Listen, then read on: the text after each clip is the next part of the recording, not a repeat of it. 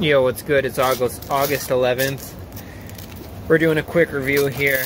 Um, not too late in the evening, but yeah, the hockey worked out pretty well today. Um, yeah, I mean, my two main teams are eliminated, which is obviously disappointing. I would rather them be in, but you know, the good thing is I had this evening off.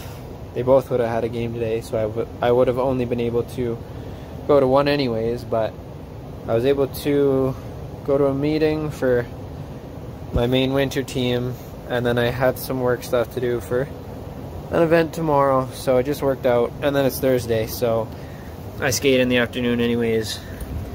Um, yeah, so I get all my skating in and yeah, it was a great skate. I mean, I was just moving very well, puck control very well. Very good, I suppose. So I don't want to go too crazy, but I think it was just a really good shinny. Um, the finishing was pretty good. I was shooting glove side, still definitely missing the net too much, especially if I find when the ice gets a little rough, yeah, I start pulling it wide.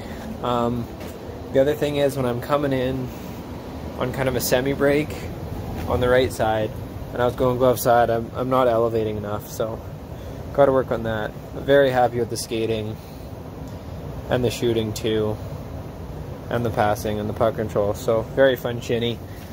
And then Carter Hart was actually had the ice on right after us.